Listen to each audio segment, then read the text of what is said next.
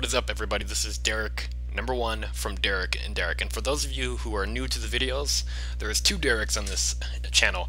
And the second Derek is not here because he's a huge nerd and he doesn't play these kind of games.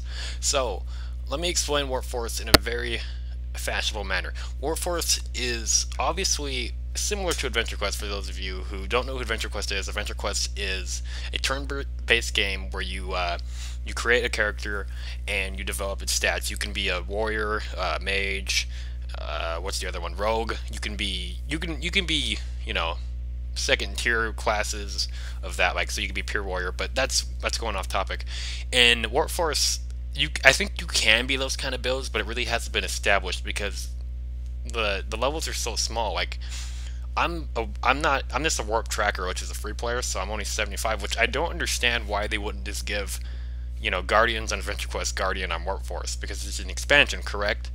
So that's one problem I have with it.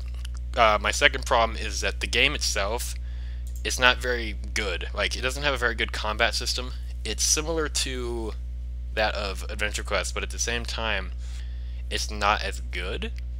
So as you can tell the interface is already way different. So in this game, I believe you have the like it's called gauntlets.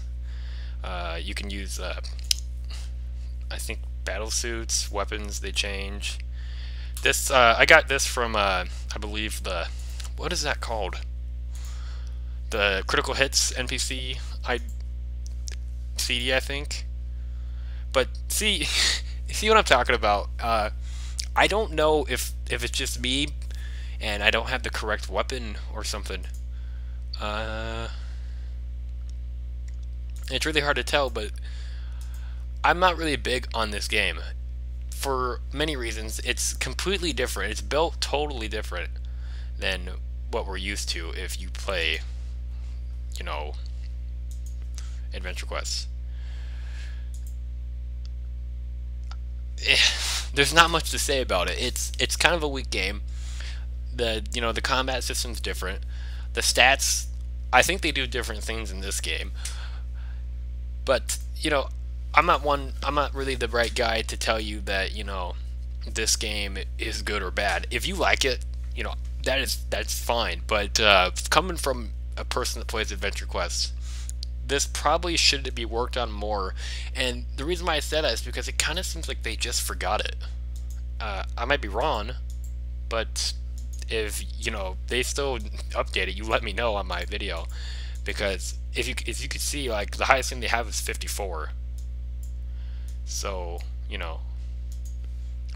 Anyway, this is Derek number one from Derek and Derek. Make sure to shoot us a subscribe. Uh, make sure to follow us on Twitter.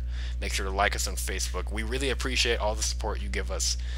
If you guys didn't support us, we couldn't do this without you because you are the reason, the only reason why we keep going.